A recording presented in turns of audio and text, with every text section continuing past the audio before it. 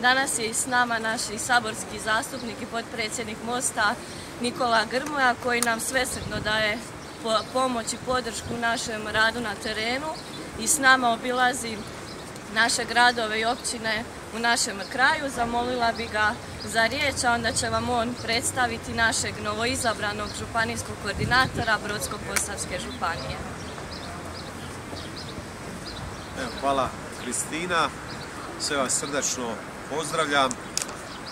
Lijepo je biti ovdje u Slavonskom brodu, lijepo je obilaziti našu Slavoniju, ali nažalost ono što čujemo od ljudi nije dobro. I te stvari želimo mijenjati, želimo zaustaviti iseljavanje iz Slavonije, želimo zaustaviti iseljavanje iz svih naših krajeva i kao što je rekla Kristina, fokus će biti poljoprivreda, fokus će biti gospodarstvo.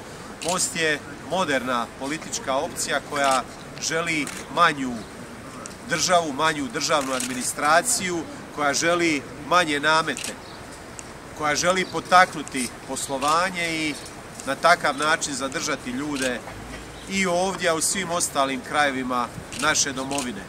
Isto tako, svjesni smo da sve što je novo ne znači da je ujedno dobro. Postoje vrijednosti koje su važne hrvatskom narodu, vrijednosti koje želimo čuvati, vrijednosti na kojima je naš narod stasao.